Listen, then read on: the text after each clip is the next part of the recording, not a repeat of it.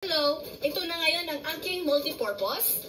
Okay? Bali, nag-steam na ako ng rice. Sinat ko siya ng 450, 25 minutes. 25 minutes, meron tayong steam rice. And steam rice is healthier than boiled rice. Alam po natin yan, kahit naman po sa gulay, mas masarap ang in-steam na gulay kaysa sa binoiled na gulay. Bakit? Hindi nawawala or hindi na itatapon yung kanyang sustansya.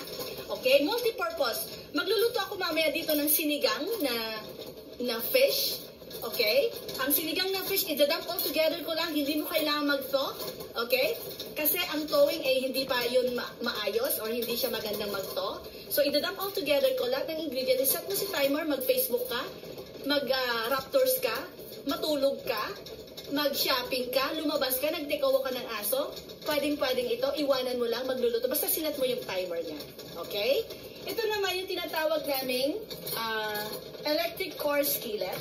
Pwede kang maglasanya. Magpiprito ako dito mamaya ng ah, pritong uh, lechong kawali na hindi ako gagamit ng mantika at lalong hindi ako gagamit ng asin.